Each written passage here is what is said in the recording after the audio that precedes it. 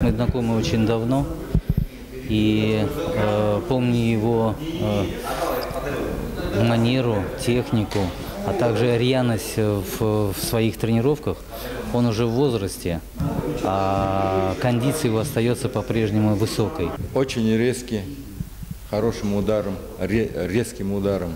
И манера его, он как бы, как сказать, как бы усыплял противника, как, как бы свои сети заманивал, заманивал и наносил э, решающий удар. Частенько одного удара, допустим, хватало, чтобы э, прекратить бой. бой. Э, В свое время, когда многие контактные виды его вызывали там, ну, проверить там стиль бесконтактного карате. Вот. э, Я знаю, что э, многим он кому-то сломал челюсть, э, кому-то скулу проломил. Ну, нечаянно, можно сказать. Вот. А, И вот это его мастерство, оно сохранилось до сих пор в нем. Двигайся, двигайся, двигайся, двигайся. Вот смотри, встань, просто встань, просто встань. Остановился. Вот делаешь стуки без движения. Сразу. Чтобы не было вот этого, вот встал, сразу. Так! В 2006 году, в один прекрасный день, вся столица запестрела яркими рекламными растяжками. Турнир «Все звезды карате СССР». Для тех, кто, поддавшись буму 70-х, 80-х годов, пришел в спортзалы школ, училищ, институтов, кто впервые с трепетом примерил самодельные кимоно, выучил счет до 10 по-японски и с гордостью стал произносить слово «сенсей» вместо «тренер», кто навсегда остался верен единожды выбранному пути, для них московские плакаты стали равносильны зову военной трубы для старого боевого коня. Вздыбилась грива, раздулись ноздри, забилось сердце и взрыли землю сбитые копыта.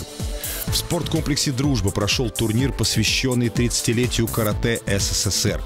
Идейным вдохновителем и организатором этого турнира был Виктор Хан. Пришел к Сергею Цой и говорю, вот хочу такой турнир сделать, говорю, собрать всех стариков, я думаю, что приедут. Он говорит, да, приедут. И мы думали, как его назвать. И он мне говорит, а назови вот все звезды СССР, говорит, гранд-мастер. Как-то так легко пошло, написали всем приглашением, все приехали. Помню, приехал где-то один из республик. Было интересно. Да, было не просто интересно, было классно. Щемящее чувство ностальгии по временам юности, когда в магазинах не было джинсов и кроссовок на любой вкус. Но мороженое за 7 копеек и газировка с сиропом за 3 были гораздо вкуснее сегодняшних заморских лакомств. Когда на просмотр видеокассет с фильмами Брюса Ли и Чака Норриса собиралось по 10-15 человек в одной комнате, и когда многие мальчишки впервые услышали короткое и хлесткое, как удар, слово «карате».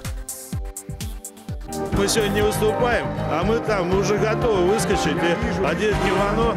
И, горят. Да, и когда, да, и нам это все наоборот хочется поднять, воз- возродить эту идею интереса, искусства и так далее. Наверное, вот только сейчас начинаешь понимать, а для чего мы вообще занимались. Вот для чего мы занимались, чтобы вот увидеть, встретиться, обняться.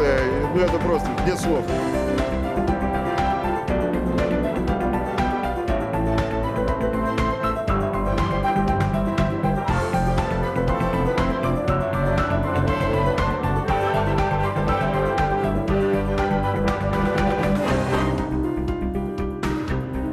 Еще одно подтверждение того, что мы сейчас э, живем совершенно спортивном, свободном для э, любого вида спорта обществе. Вы смотрите уникальные кадры. После запрета на карате в СССР почти все видеоматериалы были изъяты КГБ. И вот эта запись турнира в дружбе сохранилась просто чудом.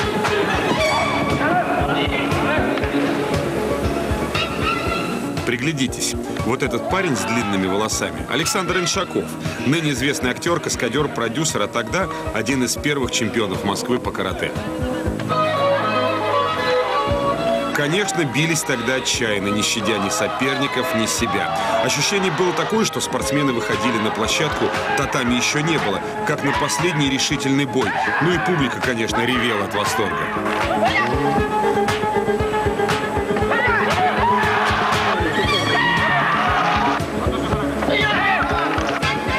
Джангир Шахмурадов, Это сейчас его манера боя кажется забавной, киношной, что ли.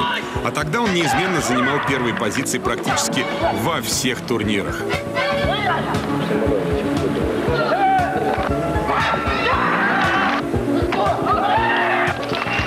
Михаил Крысин, ныне президент Федерации Косики Карате, обладатель восьмого дана, тогда же первый чемпион Москвы в тяжелом весе. Да, тогда все только начиналось.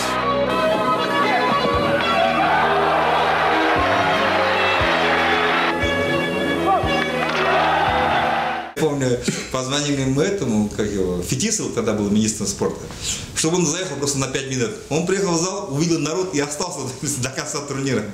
Так же было, все старики приехали, все приехали, все, даже приехали борцы, Миша Мамяшвили приехал, ну все приехали. Вот пытаемся в этом году еще раз турнир провести, но хочу всех заранее, за полгода всех предупредить, что все готовились, в том числе и ты готовься. Кстати, будет неплохие призовые, чтобы не старики, чтобы на болячке хватило денег потом.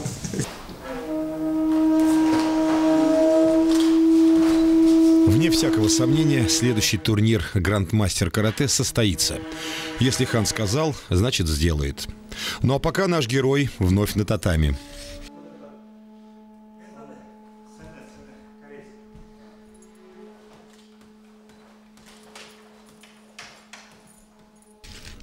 В додзё московского Кадакана на чистых прудах Виктор Хан пришел со своим семилетним внуком Русланом.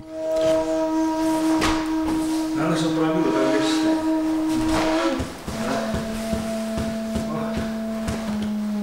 как. Олег Цой пригласил на эту тренировку своего сына Александра. Следует отметить, накануне у Виктора был день рождения. Поверить трудно, но цифра внушительная – 55. Многие мужчины в этом возрасте уже не могут без отдышки подняться на третий этаж. Наш же юбиляр был свеж, бодрый, демонстрировал технику, как 25-летний спортсмен. Кадакан – клуб боевых искусств, в котором руководит чемпион мира и Европы по дзюдо Сергей Косоротов. Незабываемую атмосферу додзю передавал мастер игры на японской флейте, обладатель третьего дана Сякухати Кинкурю Александр Ивашин. Виктор и Олег специально пришли к Сергею Кусаротову в Додзе, чтобы посмотреть на бросковую технику в чемпионском исполнении. Сергей внимательно понаблюдал за техникой броска через бедро Огоси, применительно к поединку в карате. Он сразу нашел несколько неточностей и подсказал, что нужно делать, чтобы бросок получился более эффективным, срабатывал на 100% без видимых усилий. Наши мастера очень внимательно выслушали наставления чемпиона и затем опробовали их на практике.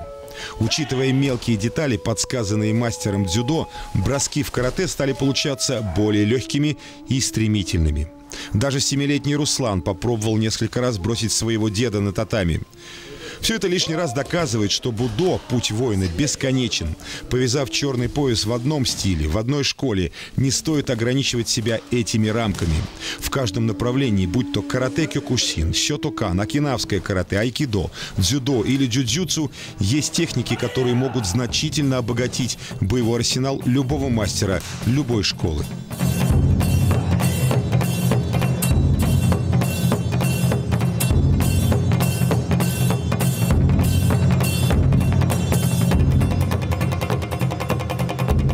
Сегодня он меня поразил. Вчера у него был день рождения, сегодня он как мобили- мобилизовался и вдруг э, сбросил в десятки лет э, с плеч и э, делал, делал такие, такие шикарные кота, вникал во все, во все мелкие детали и, в общем, был, был, был поразительный. То есть живой молодой человек, то есть э, на татами раскрывающийся, довольный жизнью, довольный своей силой. В общем, потрясающе. Специально на эту тренировку пришел давний друг Виктора, бывший помощник экс-мэра столицы Юрия Лужкова Сергей Цой. Сергей сам имеет черный пояс по карате и весьма сожалел, что в этот день не взял с собой кимоно. Мы э, считали, что мы напрасно вообще на этом свете живем, если мы сегодня не потренировались. Посвящали там э, по несколько часов, там, по 6, по 7 часов в день. Каждый день мы тренировались и понимали, что мы иначе просто жить не можем, потому что карате было смыслом жизни. И э, как раньше, так и сейчас. Я помню Виктора и в тренировках, и в бою. Очень четкая квинтэссенция. Красиво, значит правильно. Сергей Косоротов приготовил для своих друзей фирменные кадакановские подарки. Гвозди, завязанные в замысловатые узоры могучими руками чемпиона. Каждый раз, когда Сергей проделывает это, оторваться просто невозможно. Зрелище завораживает. Вот и на сей раз гости Кадакана, раскрыв глаза, смотрели, как 100-миллиметровые стальные гвозди, словно пластилиновые, сгибаются и закручиваются в кулачищах Сергея.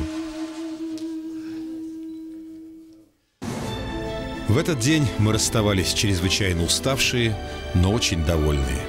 Все получили массу впечатлений и от общения друг с другом, и от полученных знаний, и от проделанной работы.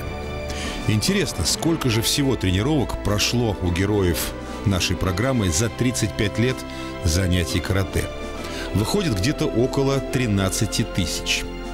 Казалось бы, все уже давно изучено, отточено и проверено – но нет, настоящий мастер отличается от дилетанта тем, что никогда сам про себя не говорит «я достиг высот, мне нечему больше учиться». Черный пояс белеет с годами, становится похожим на чистый лист бумаги, на котором предстоит написать еще немало интересных и очень важных строк.